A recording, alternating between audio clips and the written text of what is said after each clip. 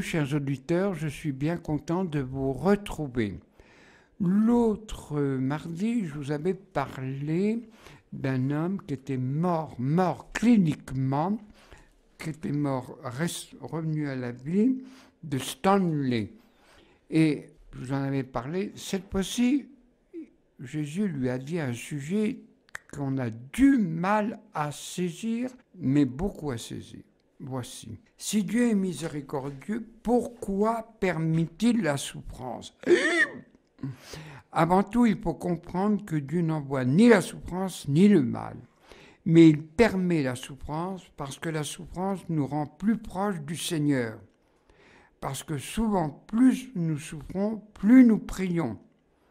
Et la souffrance permet aussi la purification. La souffrance aide au nettoyage de notre âme. La souffrance est salvatrice. Et n'oublions pas non plus que Jésus lui-même a souffert la passion. Il désire nous associer à sa passion. J'ai donné une conférence dans un grand hôpital et beaucoup, ceux qui ont assisté, atteints du cancer. Parmi eux, certains étaient très en colère contre le Seigneur. Ils ont dit Pourquoi moi? Alors je leur ai dit Ne soyez pas en colère contre notre Seigneur. N'oubliez pas que le Seigneur vous aime. Regardez ceux qui sont en très bonne santé et qui tout d'un coup sont victimes d'un accident et meurent. Mais étaient-ils prêts Par la maladie, le Seigneur veut peut-être que vous offriez vos souffrances pour votre propre purification ou pour la conversion des pécheurs. Ce qui est important, c'est que la souffrance ne doit pas être perdue, elle doit servir à quelque chose, et pour qu'elle porte des fruits, il faut l'offrir à Jésus. Nous en comprenons vraiment le sens et la portée du ciel. Comme vous êtes euh, souvent allé euh, à pèlerinage de Notre-Dame du Lot, il y a un tableau où on voit Benoît voit la Vierge Marie et elle voit deux saintes, une Sainte Catherine de Sienne et Sainte Barbe. Et ces deux saintes portent une couronne. Il y en a une, une couronne d'épines et l'autre la couronne de gloire. La Vierge Marie dit, si tu veux la couronne de gloire, il te faut prendre la couronne d'épines.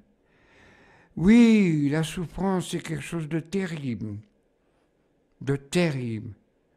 Mais n'oubliez pas que la souffrance peut mettre les gens à mal et même révolter contre Dieu. Ou alors, tel que le dit Stanley par Jésus, la souffrance est un moyen d'aller à l'essentiel, de demander pardon à Dieu et de réparer. Oh, nous nous pouvons nous dire courage, courage, courage. Je vais vous raconter maintenant Sainte Odile. Oh, je ne connais pas bien. En effet, c'était au VIe siècle, sixième siècle, après nettement de Clovis, et là, il y avait la province de l'Alsace qui était liée à cette époque avec la Bavière. Et là, Aldaric eut une femme douce, Perenwinch, je le dis mal, je demande pardon à nos amis alsaciens. Et là, cependant, Aldaric, ayant reçu le baptême, il gardait, comme à cette époque, même aujourd'hui, les mœurs païennes. Ceux qui lui déplaisaient, ils allaient vite à l'arme blanche. Cependant, il eut cette femme aimable, mais toutefois, l'enfant n'arrivait pas. Il priait, et voilà que sa femme lui dit Mon âme, j'attends le roi. Oh, quelle chance, quelle chance Je vais avoir un gamin et un garçon. C'est bien qu'il fit annoncer à tous les coins du pays. Et voilà que l'heureux événement arrive. À cette époque, les hommes n'assistaient pas à l'accouchement. Bon, aussi, aussi, la servante s'amène, bonne nouvelle, l'enfant est vivant. Et c'est un, une fille. Comment? Comment une fille, j'attendais un garçon? Et qu'est-ce que tu vas planter? T'as autre chose à me dire? Monseigneur, la petite est aveugle. Pourquoi était-il déçu? Car à cette époque, le garçon était le successeur du duc ou du roi, ce pourquoi, si ce n'était pas un garçon, il perdait de son autorité. Voilà la raison. Aussi, il va trouver sa femme, son épouse, Berenwinch. Je ne veux pas voir cet enfant. Débarrasse-moi-en, autrement je le tue. Mais Berenwich tenta de, de l'adoucir. Je ne peux le voir on fera courir le bruit que l'enfant est mort né. Mais les mamans sont toutes les mêmes. Elle fit tout pour sauver sa fille. Avec un homme de confiance, elle dit Va chercher la nourrice qui était à notre maison et qui est partie à cause de sa vieillesse. Elle vint Je te confie ma petite. Occupe-toi-en bien, comme si c'était ta fille. Oh, maîtresse, sûr, sûr, princesse. Et bien sûr, elle éleva comme si c'était son enfant. Mais cependant, les voisins venaient et disaient Oh, mais d'où est bien cette petite? Oh, qu'elle est belle Et aussi, mais elle a des habits, des toilettes de princesse. Mmh. D'où est bien cette petite? Alors la nourrice puis trouver l'épouse de Aldaric, elle dit Si Aldaric sait que sa fille est vivante, il va venir la tuer. Et alors la princesse dit Eh bien, nous irons à Palma qui se trouve près de Besançon. Maintenant, on ne l'appelle plus Palma, c'est un autre nom.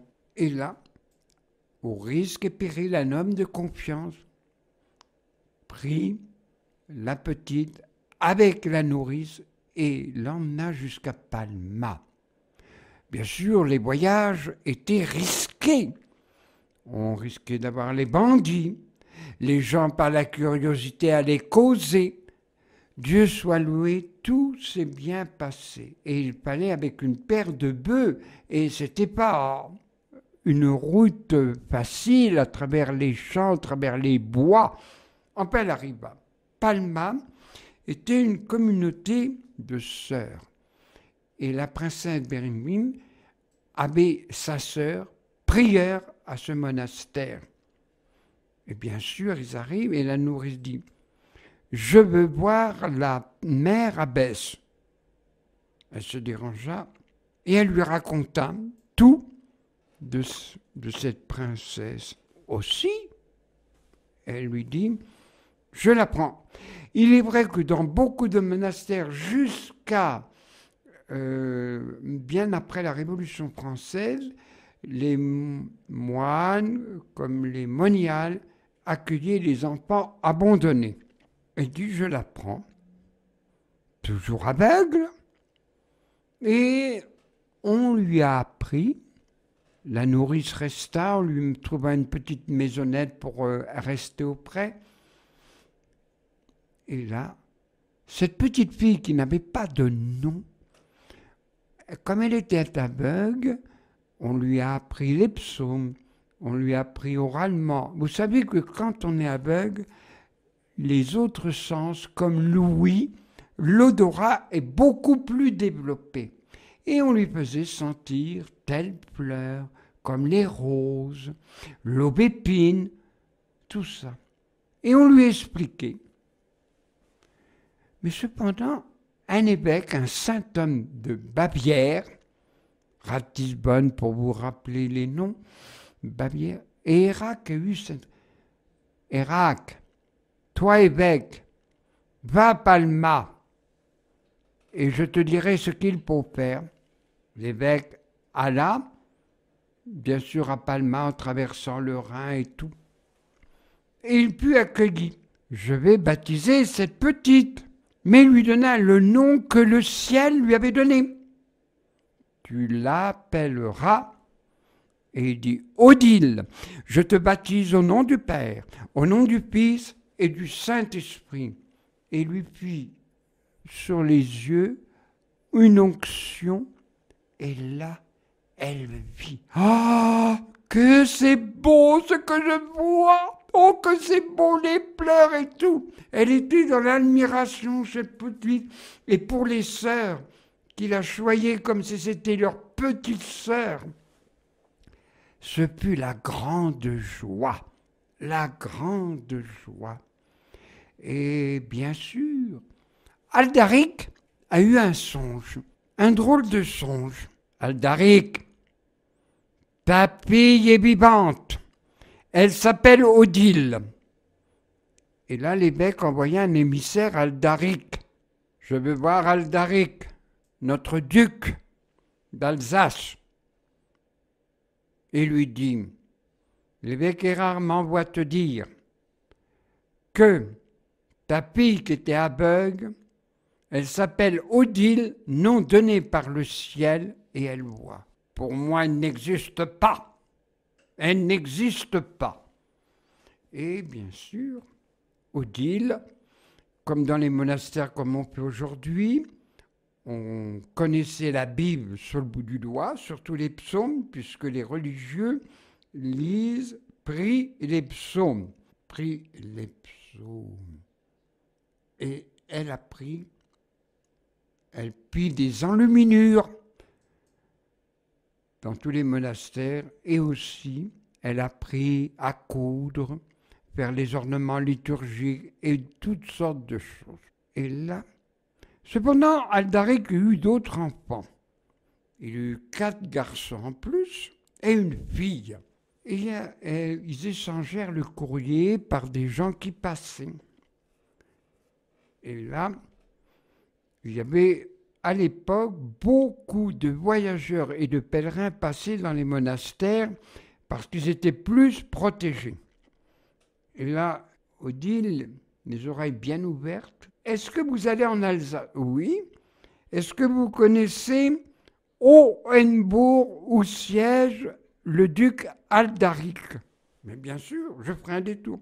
Vous porterez cette missive.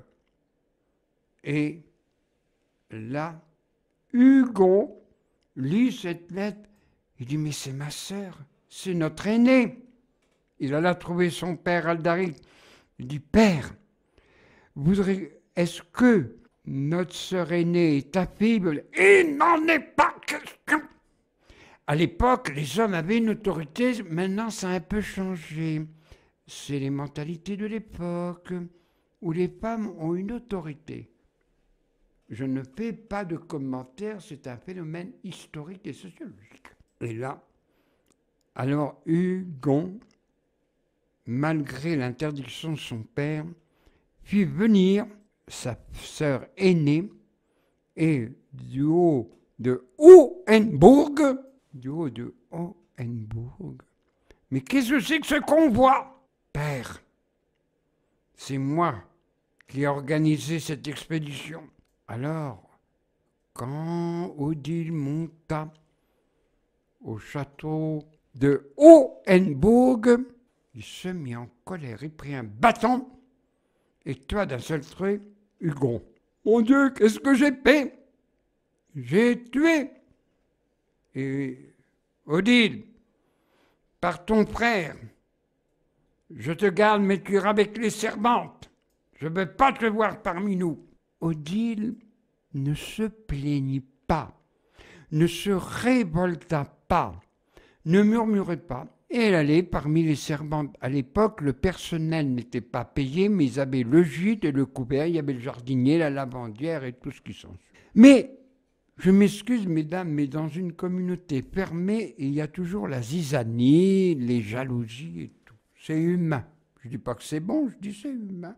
Et elle, de par sa simplicité, de sa bonne humeur, de son égale humeur, elle priait, elle réussissait toujours, par la grâce de Dieu, à apaiser.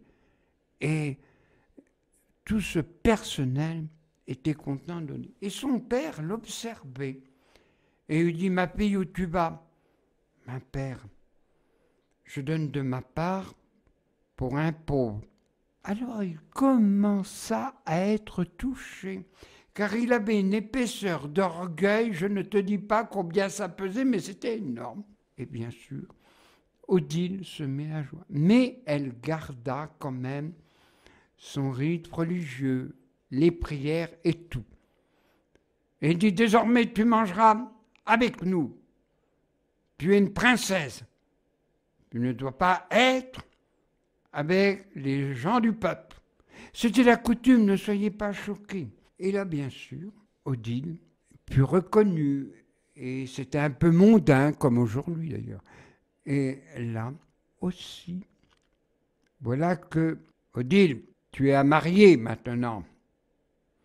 Et c'était l'époque qu'il voulait. Ne jugez pas une époque par rapport à une époque, c'est perdre son temps. Et puis c'est fatiguer les ménages. Et un jeune homme, un Allemand, il a trouvé belle, jolie. Et on demanda au père, on ne demande jamais à la fille à l'époque. Je voudrais épouser ta... Oh, quelle bonne chance, ça va faire des bonnes relations et tout, ça va agrandir nos provinces. Ça y est, je t'ai trouvé l'homme de ta vie. Ah non, père. Comment? Je ne veux pas me marier, je veux rester dans l'esprit religieux. Il n'en est pas question. Encore une fois, les colères lui menaient. Alors, Odile prit la grande décision. Elle se sauva. Elle avait l'obligation simplement d'être au repas du midi. Où est Odile? D'habitude, elle est toujours à l'heure. Cherchez où elle est. Oh Sûrement qu'elle est à l'église, à la chapelle. C'est bien belle, ça. Bon, on chercha, on ne la trouva pas. Continuez de chercher. Et comme on craignait ce fameux duc Aldaric, hum, on ne la trouva pas. Mais lui, avec le flair d'un guerrier, je suis sûr qu'elle s'est sauvée. Vite Attelez-moi les chevaux et en vitesse Mais cependant, Audi s'était sauvé. Et là, il va au bord du Rhin. Et passeur, vous voyez pas passer Oui, elle est habillée avec les habits du, peuple. Mais ce que j'ai remarqué, elle avait un langage très bon, d'une délicatesse. Oh, c'est ma fille, c'est ma fille, c'est ma fille. Et comme c'était des guerriers. Et alors, vous y croyez, croyez pas, mais l'histoire dit ainsi. Une pierre s'ouvrit et l'enferma, et le duc Aldaric avec ses hommes ne la trouvèrent pas. Et bien sûr, elle y resta un bout de temps, son père rentrant dans une colère, je te ne dis pas. Et voilà qu'au bout d'un an, il commence à réfléchir. Vous savez, mesdames, les hommes sont toujours longs à réfléchir, sauf quand ils se mettent en colère, ça vous plaque comme ça. Mais au bout d'un an, il put faire une annonce qu'on appelait à l'époque un héros, celui comme nos gardes champêtres d'autrefois qui annonçaient les nouvelles. Pourquoi? Parce que le peuple ne savait pas lire, c'est pas la peine de mettre des affiches. Et il fait annoncer dans toute la province de l'Alsace et de la Bavière. Il dit Ma fille, tu peux revenir, tu peux revenir tu feras ce que Dieu te demande. Et Odile était parmi ces gens, et elle revint à Hohenbourg. Et là, le père lui dit, il réfléchit, il dit, écoute, ah, je t'offre le château Hohenbourg, le château Hohenbourg. On l'aménagera pour abriter des religieuses.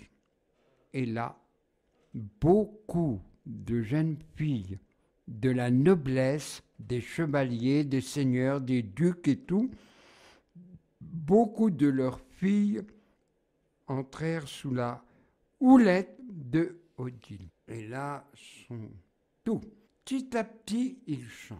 Et bien sûr, Odile ne perdit pas son temps. Là, c'est un monastère au Henneburg. Elle secourait avec ses compagnes les pauvres. Et les pauvres, il y en avait pas mal. Il y en avait pas mal de toutes sortes. Les boiteux, les affamés, les lépreux. Je me permets de vous raconter ce passage qui n'est pas tellement dit. Deux sœurs vont voir un homme qui, elle dit, ça y est, il est tombé. Et elle s'approche de lui. Ah, il sent mauvais. C'était un lépreux. Et une répugnance, ça se comprend. Elle dit non, on ne peut pas le soigner. Elles vont trouver la mère abbesse Odile.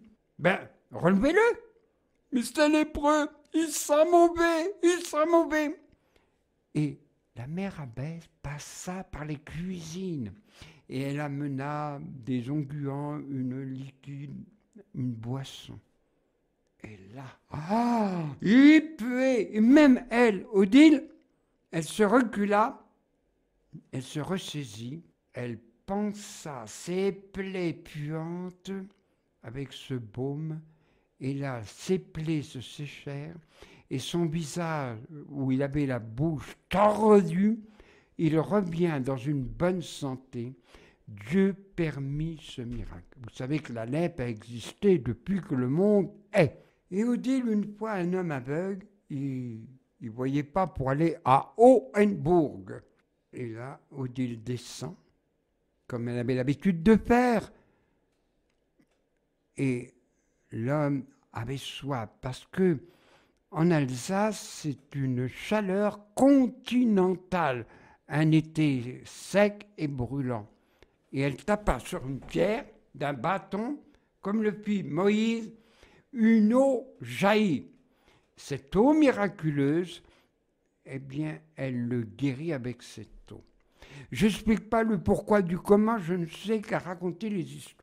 Et beaucoup de misère, elle secourut, beaucoup de Même une voix intérieure lui dit, il faut construire un monastère en bas pour accueillir les pauvres, car ils ne peuvent pas aller à Hohenbourg. N'oubliez pas qu'à cette époque, il n'y avait pas de bitume, il n'y avait pas de route, c'était quand on montait.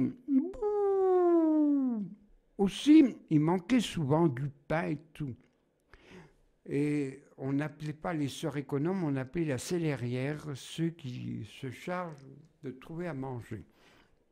Elle dit, elle va voir la sœur, la baisse, et lui dit, mais, mais cependant, il n'y a pas. Elle dit, mais Jésus avec cinq poissons, euh, cinq pains, a nourri cinq mille hommes, qui sous-entendu, il y avait des femmes. Alors il le prépare, et là, quand elle a été à l'endroit d'économe, elle vit de la nourriture abondance. Et ces choses, vous me direz, notre divin maître, c'est arrivé aussi pour Saint Benoît de Nursie. Beaucoup de saints, comme celui que j'aime beaucoup et que vous avez entendu parler, de Don Bosco, 19e siècle. L'évangile est toujours d'actualité. Alors j'abrège cependant une petite histoire dans la grande histoire de Odile. Un jour, un vieil homme se présente et lui donne trois branches de tilleul cueillies au mois d'août. Et lui dit, vous planterez. Et les jeunes sœurs disent, mais on ne plante pas des branches de tilleul au mois d'août. Et puis trop sec, ça ne prend pas. Et Odile, femme, fille de Dieu, dit, plantez-le. Elle le plantèrent. Alors le lendemain, oh, on va retrouver que les branches de tilleul fanées, déplorées et tout. Et ces tilleuls ont pris. Alors, on peut y donner un symbole.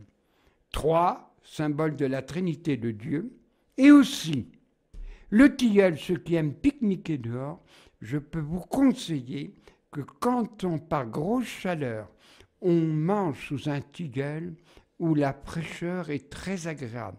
Mais ne mangez pas sous un noyer, car ça vous fait froid dans le dos.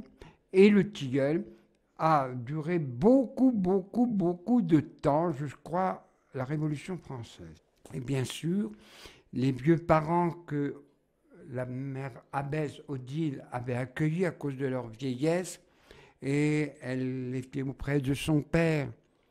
Et il dit, j'ai fait tellement de mauvaises choses, de très mauvaises. Et elle dit, mais non, la miséricorde de Dieu est plus grande. Et elle consola ses jours. Et voilà que il meurt comme tout mortel. Mais cependant, Dieu permit cette chose. Que vous croyez ou croyez pas, ça c'est autre chose. Elle eut la vision de son Père, comme on dit nous les chrétiens, au purgatoire. C'est à cause de ses cruautés, et aussi à cause qu'il a voulu te faire tuer, et qu'il aurait tué lui-même, ça ne l'hésitait pas. Et Odile pria pendant cinq jours, privé de manger, prière, tout, si bien, au bout de cinq jours, par la permission de Dieu, elle vit son Père au ciel. Comme vous le savez, le purgatoire est un lieu, un état de purification. Aussi, Odile put rappeler à Dieu par la vieillesse, et là elle put regretter de tous, regretter des pauvres qui montèrent, et Henbourg, on appelait, on va voir le mot Henbourg, et quand l'Alsace fut rattachée à la France au XVIe siècle, on n'appela plus le Haut-Henbourg, on appela le mont Saint-Odile. Et bien sûr, ce lieu, qui était un lieu de stratégique de guerre, tous les ancêtres d'une tribu, autant les Romains, c'était une stratégie militaire. Il y eut les Maillards, il y eut beaucoup de peuplades et souvent ce monastère fut rasé, mais on ne toucha jamais, jamais aux reliques de Sainte Odile. Même pendant l'occupation 1870, 1914, 1940, la Deuxième Guerre mondiale, les pèlerins montés, la Wehrmacht de l'époque respectait ce lieu saint ce lieu saint. On pourrait vous raconter des choses de Sainte Odile, et c'est le pape Pie XII qui l'a nommée Odile, protectrice de l'Alsace. Elle est moins connue chez nous, elle est moins connue chez nous, mais par les Alsaciens qui étaient occupés par l'Allemagne, beaucoup se réfugièrent, comme ils disent, à l'intérieur du pays, et eu des mariages très heureux. Et c'est comme ça qu'Odile a été connue en France. Bien sûr, aujourd'hui, comme à Notre-Dame-du-Lot, c'est un sanctuaire et un monastère en plus qui accueille les pèlerins. Alors, si vous y allez un jour, eh bien, n'hésitez pas. Mais quand même, le long en premier, car c'est dans notre diocèse. Bon peuple de Dieu, merci de nous avoir écoutés.